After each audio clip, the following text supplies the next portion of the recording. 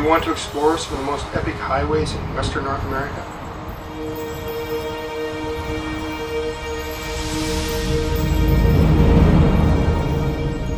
Join us as we follow those highways through some incredible landscapes and to add to the adventure, experience it all from the seat of our motorcycle.